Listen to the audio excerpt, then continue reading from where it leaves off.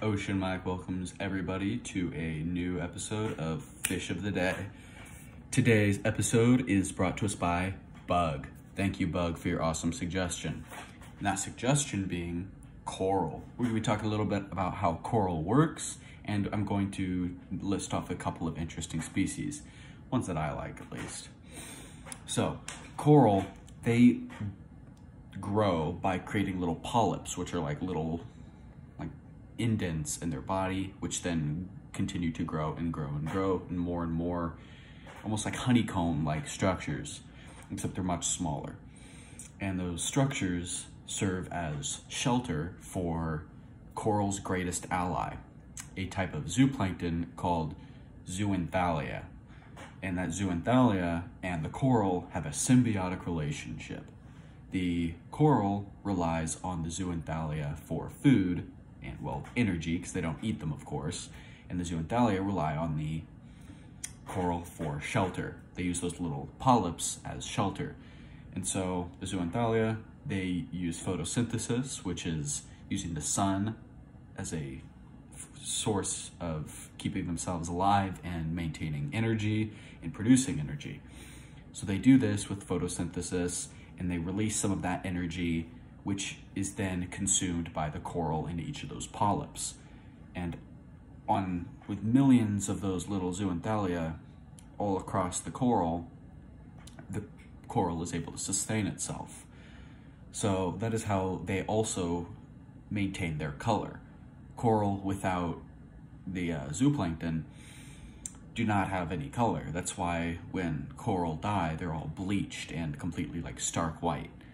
So coral's color is determined by the type of zooxanthellae that live in them as well as the photosynthesis type of energy that they regulate. So one of my favorite species is called brain coral. Much like the name, they grow themselves to be very stout and have lots of folds, much like a brain.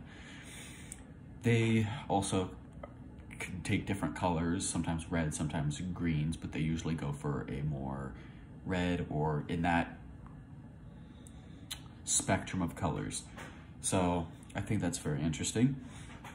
So that is the main gist of how corals stay alive. They do primarily keep themselves like they very they live a very sedimentary lifestyle However, there are some that are capable of slight movement, which is very interesting. Smaller species of coral are capable of lifting their dorsal plate, moving a little bit, as well as some anemones. It's interesting. Yeah, and so that's pretty cool. And at certain points in their lives, they attempt to do reproducing. And they reproduce through mass reproduction. Some species of coral do this by like at once all species of coral, or at least all of that species of coral, produce at once. This is called um, broadcast spawning, which increases the rate of successful reproduction as what they do is they do a budding process. So like little bits of uh, material concentrate on certain parts of the um, coral and then it detaches along with reproductive materials in order to mix them all together and start creating a new polyp, which will then grow into its own coral. It is a difficult process as not all of them survive. However, the broadcast spawning does greatly increase the chances. So that is all on tonight's agenda. Am I missing anything, Big Blue Fish?